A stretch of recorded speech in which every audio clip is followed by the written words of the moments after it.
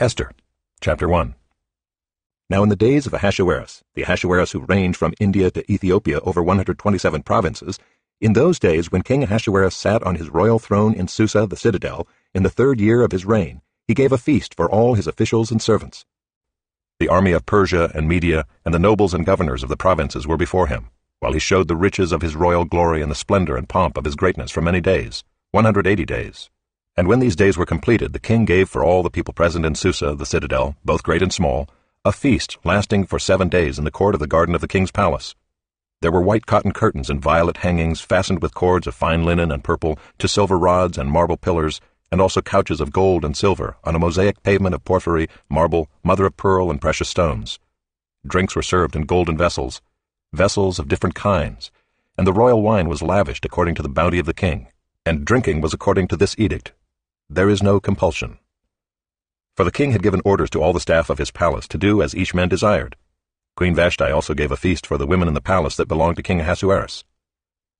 On the seventh day, when the heart of the king was merry with wine, he commanded Mehuman, Biztha, Harbona, Bigtha, and Abagtha, Zethar, and Carkas, the seven eunuchs who served in the presence of King Ahasuerus, to bring Queen Vashti before the king with her royal crown, in order to show the peoples and the princes her beauty, for she was lovely to look at.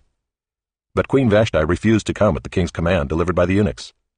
At this the king became enraged, and his anger burned within him.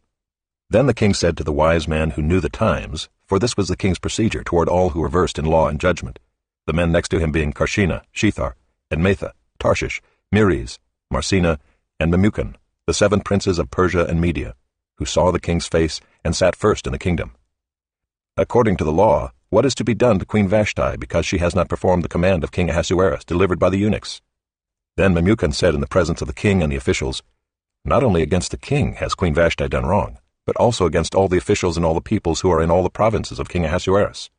For the queen's behavior will be made known to all women, causing them to look at their husbands with contempt, since they will say, King Ahasuerus commanded Queen Vashti to be brought before him, and she did not come.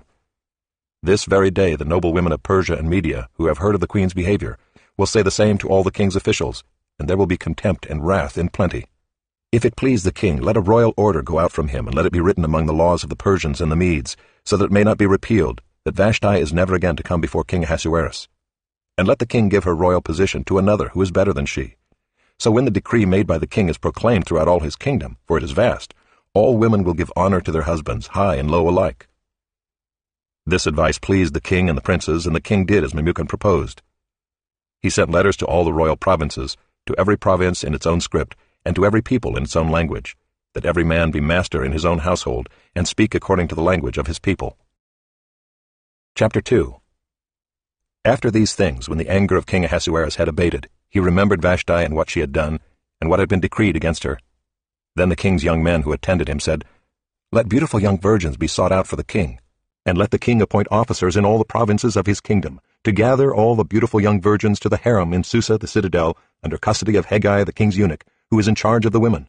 Let their cosmetics be given them. And let the young woman who pleases the king be queen instead of Vashti. This pleased the king, and he did so. Now there was a Jew in Susa the citadel, whose name was Mordecai, the son of Jair, son of Shimei, son of Kish, a Benjaminite, who had been carried away from Jerusalem among the captives carried away with Jeconiah king of Judah, whom Nebuchadnezzar king of Babylon had carried away. He was bringing up Hadassah, that is, Esther, the daughter of his uncle, for she had neither father nor mother. The young woman had a beautiful figure and was lovely to look at, and when her father and her mother died, Mordecai took her as his own daughter. So when the king's order and his edict were proclaimed, and when many young women were gathered in Susa the citadel in custody of Hegai, Esther also was taken into the king's palace and put in custody of Hegai, who had charge of the women.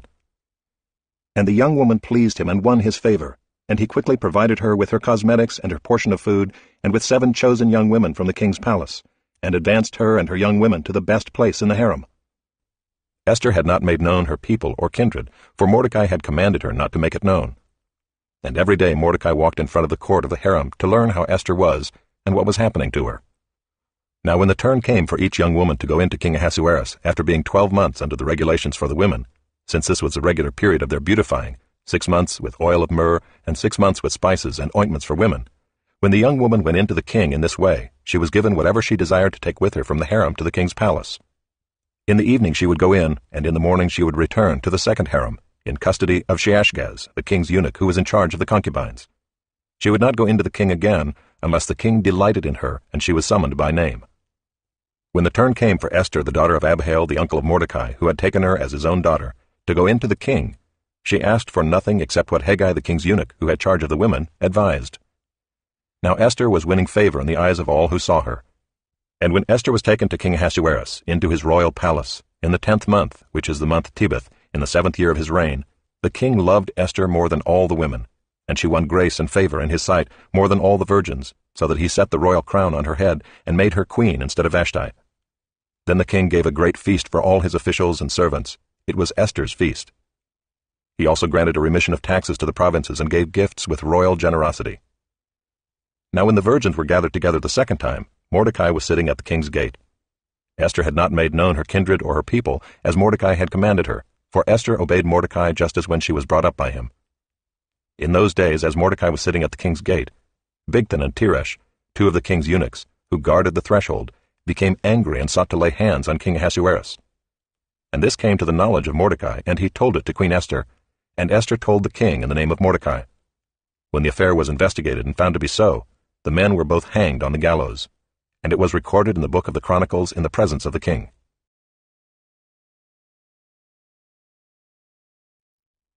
But they have not all obeyed the gospel. For Isaiah says, Lord, who has believed what he has heard from us? So faith comes from hearing, and hearing through the word of Christ. But I ask, have they not heard? Indeed they have, for their voice has gone out to all the earth, and their words to the ends of the world. But I ask, did Israel not understand? First Moses says, I will make you jealous of those who are not a nation. With a foolish nation I will make you angry. Then Isaiah is so bold as to say, I have been found by those who did not seek me. I have shown myself to those who did not ask for me. But of Israel he says, All day long I have held out my hands to a disobedient and contrary people. Hello and welcome to Bible Time. Today we're in the book of Esther, Esther chapter 1 and 2. The book of Esther is a story about Jews living in Persia, where Esther and his uncle, who saves the Jewish people, who were at the verge of total extermination. The Persian king Ahasuerus has a royal feast and he invites his wife Queen Vashti to but she refused to obey the king and so she was removed as a queen and the new queen was selected Esther a Jew now Mordecai who has been like a father to Esther overheard a plot to assassinate the king and report this to the Queen Esther, and so saving the life of the king. This was recorded in the historical record in the king's presence. Now, Romans chapter 10, verse 16 through 21, Paul continues to talk about the relationship between the Israelite and God. Here we find that the Israelite, the Jews, heard the gospel, and most of the Jews have rejected the good news of Jesus Christ. Instead of believing, becoming righteous by faith in Christ, they believe that they have to work hard, effort to earn the righteousness by obeying the law. And so he says, For faith comes by hearing, hearing the word of Christ. Now, the Jews only read the Old Testament, they do not have the New Testament they would not honor that it's God's word. So therefore they would not hear the word of Christ. And because of they don't hear the word of Christ, they do not have faith in Christ, which made them blind for the salvation. Now, thank God that we have both Old Testament and the New Testament where we could hear the word of Christ, where we could have faith in Jesus who fulfilled the law of Moses, that we could have salvation through him. Let us pray. Heavenly Father, we thank you for your word. We thank you for Old Testament and the New Testament where we get to hear your word.